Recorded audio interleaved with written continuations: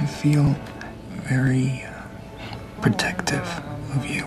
Welcome to WatchMojo, and today we're counting down our picks for the top 10 movies that went from being loved to hated. Times are changing, Betty. These nerds are a threat to our way of life. You go on and cry.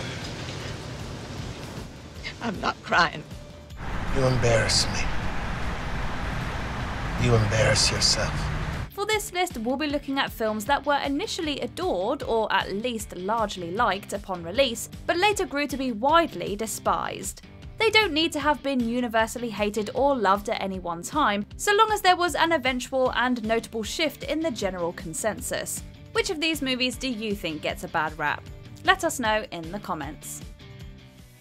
Number 10, I now pronounce you Chuck and Larry. While critics were quick to lambast this one out of the gate, it does star Adam Sandler after all.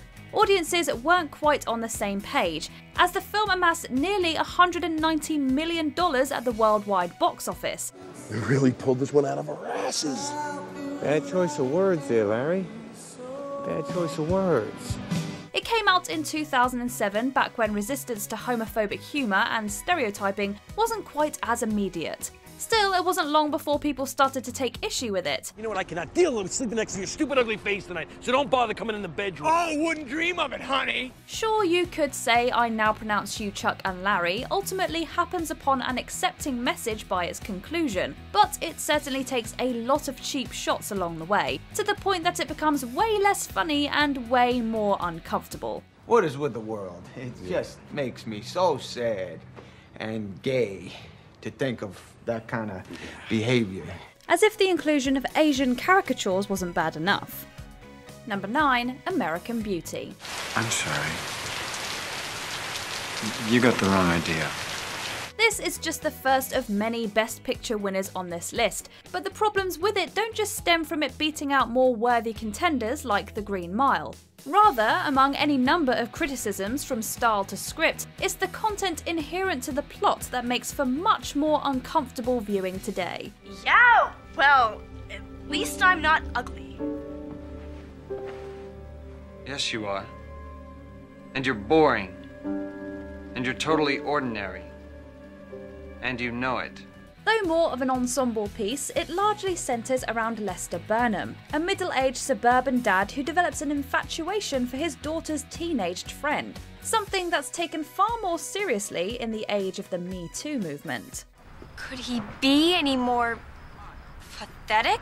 While Kevin Spacey's performance as Burnham was praised for its nuance, the subsequent misconduct allegations against the actor in real life tinge it with an eerie malevolence. Number 8, Driving Miss Daisy. Yes, Miss Go back. Go back this minute. Miss Daisy, look, look. Yonder the Piggly Wiggly. See? Another entry that won Best Picture at the Academy Awards, Driving Miss Daisy, starring Jessica Tandy and Morgan Freeman, was already kind of dated when it came out, relying heavily on old fashioned race relations around which to structure its characters. And while plot wise that might not be a bad place to start, many today don't find the film, which is based on a play, to be nearly as nuanced as was thought back in 1989. I don't need you. I don't want you. And I don't like you saying I'm rich. Well, I won't say it no more. Is that what you and Idella talk about in the kitchen? No, kitchen? Miss Oh, Daisy, I no, we- hate this. I hate being discussed behind my back in my own house. We obviously understand there's a historical significance to the setup, since it's set in the 1960s, but without a more fleshed out modern day lens, it just doesn't stand the test of time for the modern era. You go on and cry. I'm not crying. Number 7, Revenge of the Nerds. Oh, nerds!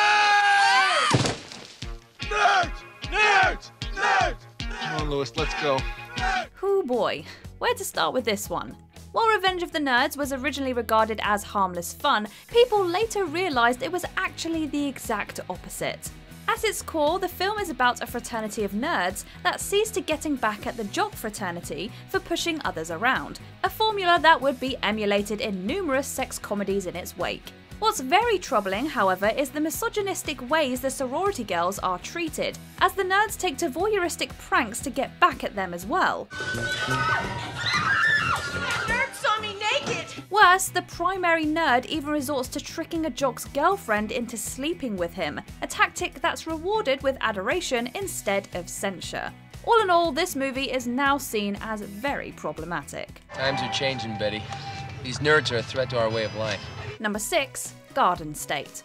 Garden State was far and away the indie darling of 2004, with writer director star Zach Braff receiving heaps of praise. It was lauded for its depiction of misplaced identity in the face of adulthood, but many don't respond to its themes as they once did. It's, just, it's dumb. It's dumb. It's an awful idea, and I'm not going to do it, okay? Furthermore, the film has since been criticised for its use of the manic pixie dream girl archetype. It also doesn't help that Braff's image has been rather dimmed in the 2010s, as his decision to use Kickstarter to fund his next project, Wish I Was Here, which was significantly worse, was met with far less enthusiasm. There's so much bad news all at once. Number 5 The Amazing Spider Man. I'm in trouble. When rebooting Spider Man after just a five year hiatus seemed hasty, 2012's The Amazing Spider Man almost seemed refreshing. But let's be honest, that was largely because it got to follow up Spider Man 3. And then came the overly ambitious Amazing Spider Man 2, which made the other aforementioned sequel look restrained by comparison. The plug was quickly pulled on this iteration of the franchise, and Sony struck a deal with Marvel to bring the character to the MCU. Tom Holland's subsequent portrayal gave us everything we ever wanted in a Spider Man, making the admittedly decent Andrew Garfield look pedestrian by comparison. Sorry, Miss Ritter won't happen again, I promise. Don't make promises you can't keep, Mr. Parker. Number 4 Crash. The love for this movie was pretty short lived. All right, if we can't duck this thing, we're gonna have to neutralize it. Ironically, winning Best Picture was probably the worst thing that could have happened to it, as beating out the much more deserving Brokeback Mountain forced people to put it under a much harsher microscope. Sure, we're aware of the cultural melting pot that is Los Angeles, but the way Crash depicts it is nothing short of heavy handed. You embarrass me. You embarrass yourself. Worse, its interracial interactions can't help but feel contrived, leaving moments that are meant to be the most moving or heartbreaking to come across as false. Don't touch me! Don't touch me! Keep away from me! Lady, I'm, I'm trying. I'm trying to help you. Its cast does all it can to support such a lofty narrative, but no actor can really disguise lapses in judgment inherent in the script. Number 3 Shakespeare in Love. Okay, last Best Picture winner, we swear. Strangely enough, it all turns out well. How? I don't know. It's a mystery. Frankly, critics were in love with Shakespeare in Love, and audiences seemed to take to it as well, as it proved to be a steady earner up to and through the Oscars ceremony. However, everything changed when it stole the big prize from Saving Private Ryan, easily one of the greatest war films ever made. Earn this.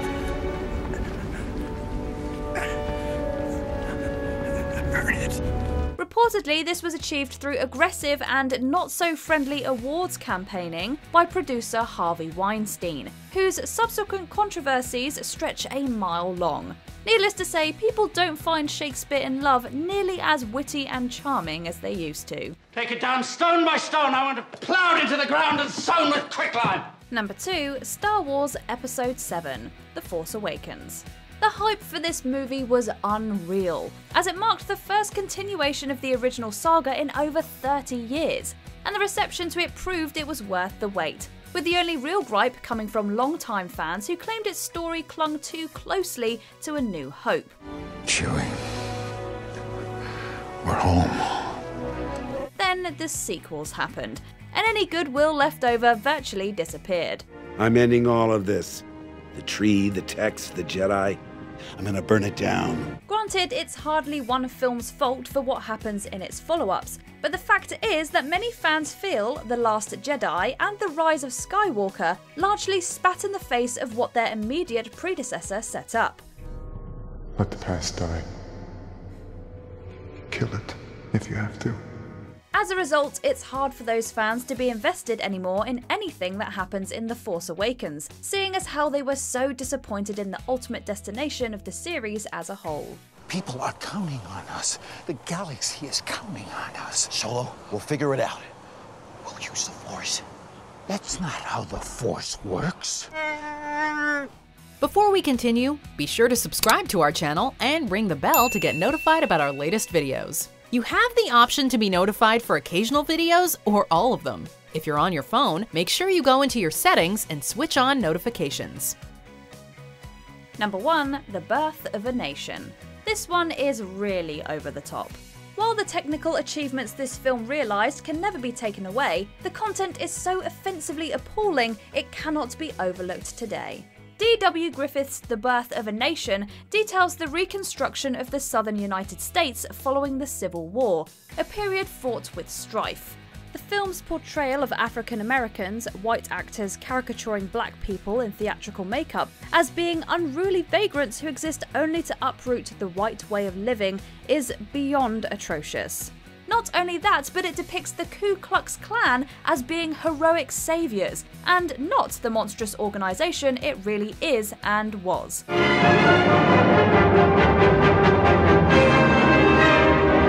Yes, it's a milestone for film, but it's backwards in nearly every other respect. Do you agree with our picks? Check out this other recent clip from WatchMojo, and be sure to subscribe and ring the bell to be notified about our latest videos.